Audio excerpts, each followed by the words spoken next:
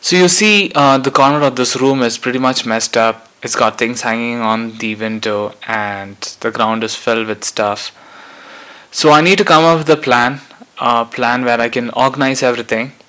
And this is what it's got the the long racks and the short racks, and then it's got two handles on either side of the board.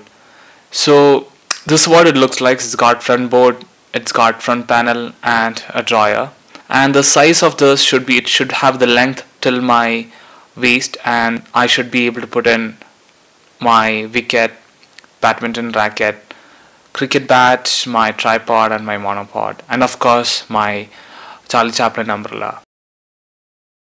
To start off with I need to cut both the sides so the sides are L So to cut it out was first a challenge for me because from the main board if I cut two L shape out the remaining will not be very good. You can't use it in a very good way. So to reduce wastage the best option that came to me was cut it this way and no wastage at all. So I started to uh, mark it, measure it, made sure the measurements were perfect. Using the set square and the long scale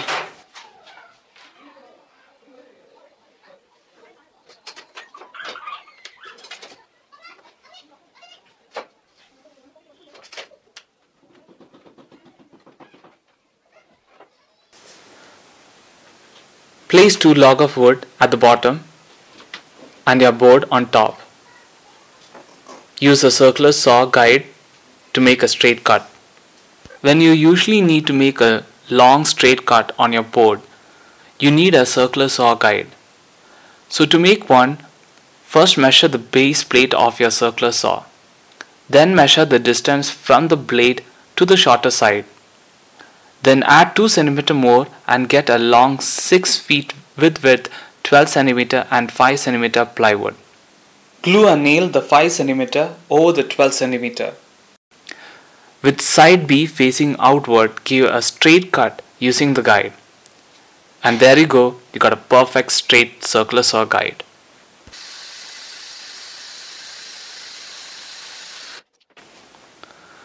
The tool I'm using next is jigsaw. This is the most versatile tool and has got a thin blade. This is good for vertical and curve cuts. At the base of the saw, the blade is exactly in the middle. Measure the distance from the blade and transfer the measure to the board you're going to cut. And using a guide, you can get a straight cut. So this tool helps me to get that L board without any wastage.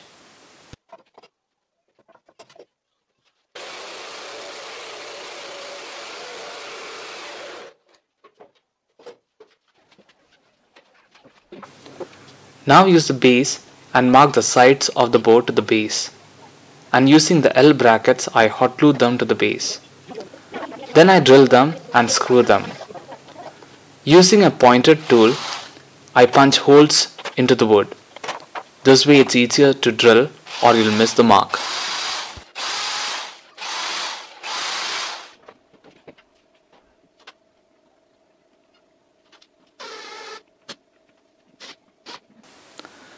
It is best to use electric screwdriver or your hand is sure to ache.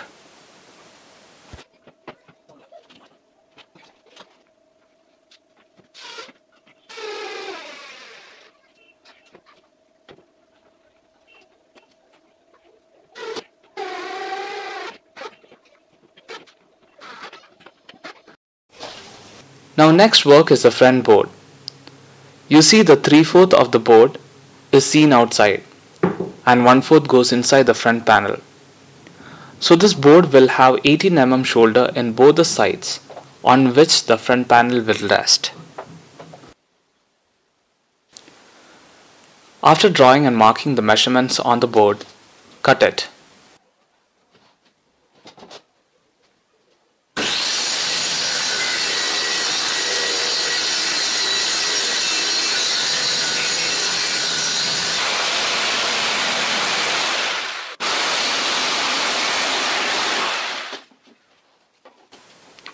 Make sure the measurements are correct using combination square.